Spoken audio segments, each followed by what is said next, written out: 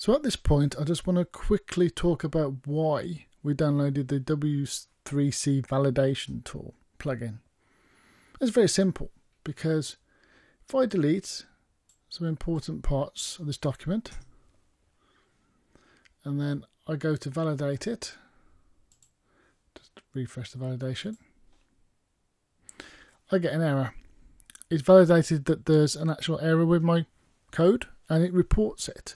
So by using this plugin, you know that all the code you check and validate, if it's correct, it will be fine. You'll get a nice green tick down here.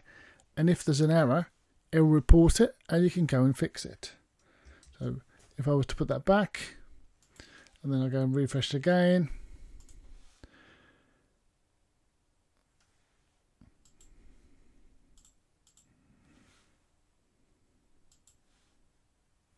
Again, nice little tick down the bottom there.